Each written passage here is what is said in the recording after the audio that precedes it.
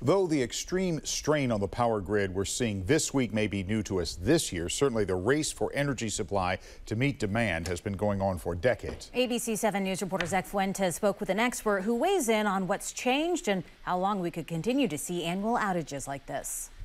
It was the year 2000 when rolling blackouts first hit the Bay Area. In 2001, they spread to the entire state. Since then, San Jose State lecturer Ahmed Banafa says he feels California has done as much as possible to take care of the electric grid. I look at other states like Texas, whether it's cold, whether it is it is hot, they are suffering with this one because there is some issues with their grid. We don't have the same issues here. We are really aware of what is the problem. Stage three emergency alerts mean rolling blackouts are happening or imminent. This chart here shows that California reached that level once in 2000 and 38 times in 2001. After 2001, the next time we saw the same kind of alert was twice in 2020.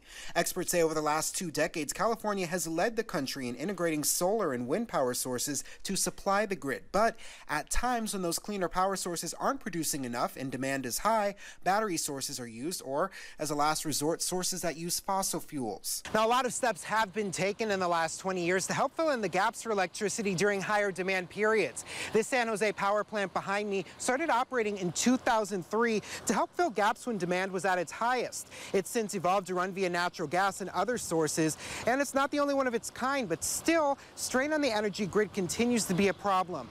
A major part of that issue, according to experts is climate change. For example, if you're talking about some of the hydraulic powers that use the water to generate the power is now a little bit dry because of the the dry weather. As the impacts of climate change continue, will the strain we've seen on the state's power grid and the potential rolling blackouts be something we live with annually? Banafa says it depends on several factors. So the solution has multiple parties that have to take action before they can say that we're not, going to face something like this.